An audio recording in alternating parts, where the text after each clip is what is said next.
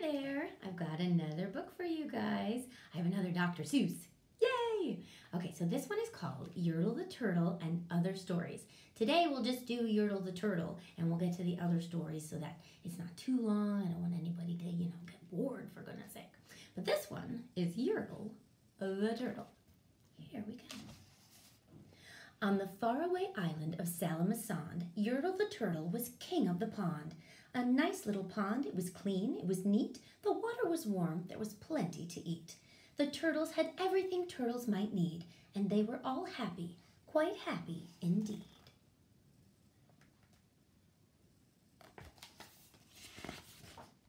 They were until Yertle, the king of them all, decided the kingdom he ruled was too small.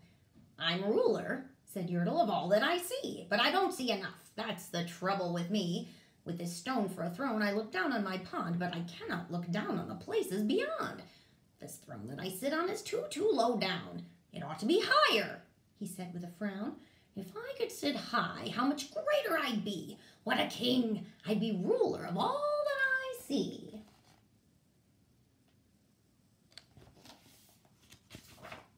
So Yertle the Turtle King lifted his hand, and Yertle the Turtle King gave a command. He ordered nine turtles to swim to his stone, and using these turtles, he built a new throne. He made each turtle stand on another one's back, and he piled them all up in a nine turtle stack. And then Yertle climbed up. He sat down on the pile.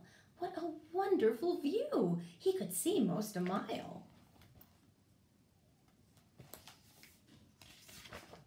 All mine! Yertle cried. Oh, the things I now rule. I'm king of a cow, and I'm king of a mule. I'm king of a house, and what's more beyond that, I'm king of a blueberry bush and a cat. I'm Yertle the Turtle, oh marvelous me, for I am the ruler of all that I see.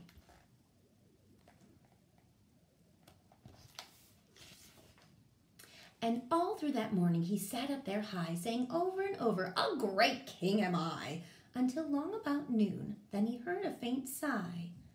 Oh, what's that? snapped the king, and he looked down the stack, and he saw at the bottom a turtle named Mac, just a part of his throne, and this plain little turtle looked up and he said, Beg your pardon, King Yertle. I've pains in my back and my shoulders and knees. How long must we stand here, Your Majesty, please?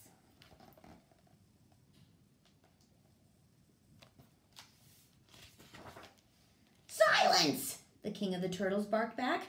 I'm king, and you're only a turtle named Mac.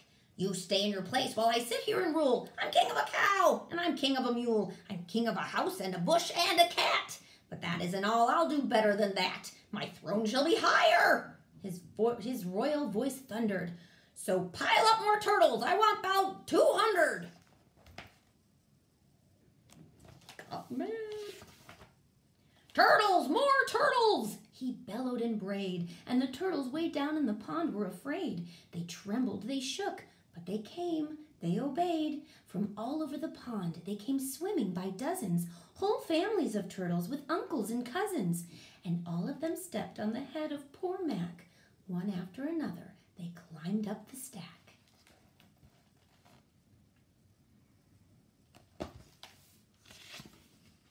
Then Yertle the Turtle was perched up so high he could see 40 miles from his throne in the sky. Hooray! shouted Yertle. I'm king of the trees. I'm king of the birds and I'm king of the bees. I'm king of the butterflies, king of the air. Ah, me, what a throne, what a wonderful chair.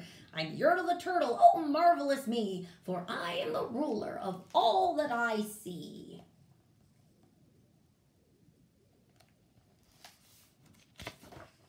Then again from below, in the great heavy stack, came a groan from that plain little turtle named Mac. Oh, Your Majesty, please, I don't like to complain, but down here below we are feeling great pain. I know up on top you are seeing great sights, but down at the bottom we too should have rights. We turtles can't stand it. Our shells will all crack.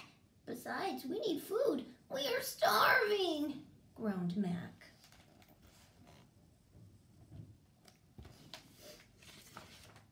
You hush up your mouth, howled the mighty King Yertle. You've no right to talk to the world's highest turtle. I rule from the clouds, over land, over sea. There's nothing no nothing that's higher than me. But while he was shouting, he saw with surprise that the moon of the evening was starting to rise up over his head in the darkening skies. What's that? Snorted Yertle. Say, what is that thing that dares to be higher than Yertle the king? I shall not allow it. I'll go higher still. I'll build my throne higher. I can and I will. I'll call some more turtles. I'll stack them to heaven. I need about 5,607.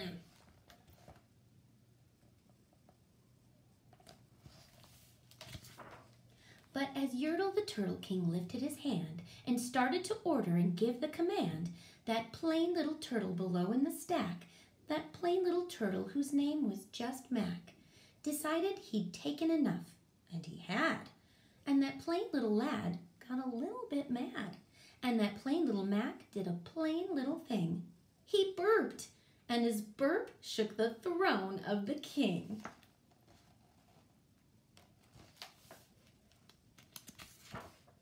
And Yertle the turtle, the king of the trees, the king of the air and the birds and the bees, the king of a house and a cow and a mule, well, that was the end of the turtle king's rule. For Yertle, the king of all Sala-ma-Sond, fell off his high throne and fell plunk in the pond.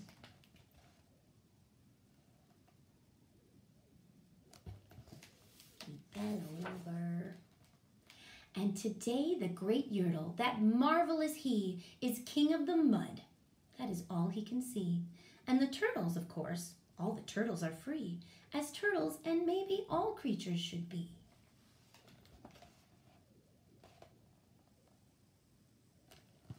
The end.